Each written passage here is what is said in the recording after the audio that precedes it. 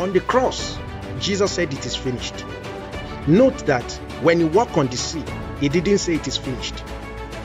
When he raised the dead, he didn't say it, it is finished. When God used a man today to raise just one dead person, that may be what he's going to be preaching for the rest of his life. Everywhere he goes, he will tell people's story how I raised the dead, how I raised the dead. But for Jesus, raising the dead was a common occurrence in his life, but he didn't say it is finished.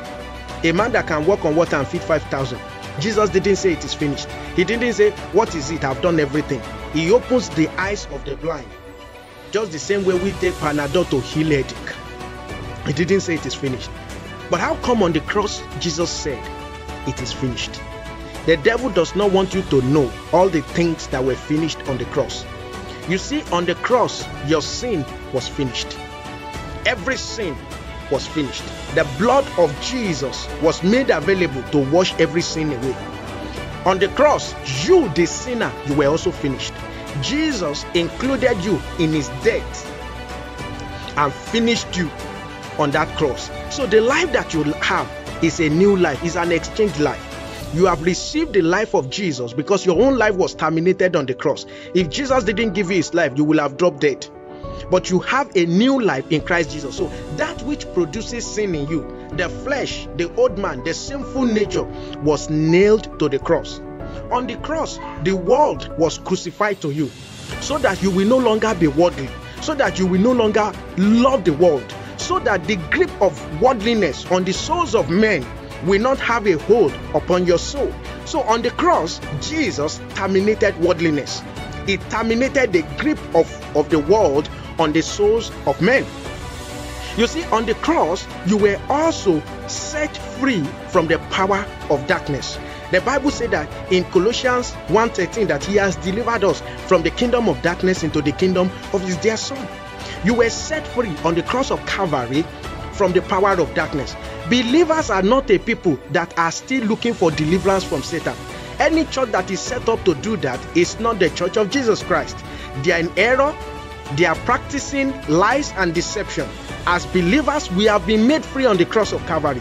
What we need to show to people is what Jesus accomplished for us on the cross of Calvary.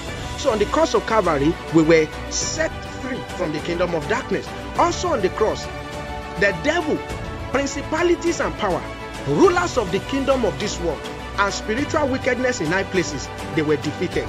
And Jesus made a public show of them. That means that everybody know in the spirit realm that they were defeated. And you also in this realm, you ought to know that he had defeated principalities and power and make a public show of them. That is why the devil does not want anybody to hear the message of the cross.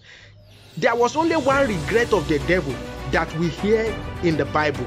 The scripture says, if they had known, they would not have crucified the King of glory.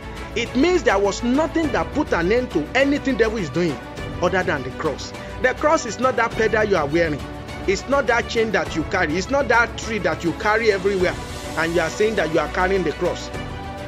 The cross is the cross of Jesus, what he accomplished on the cross of Jesus. The devil doesn't want you to know that because that is where your victory is.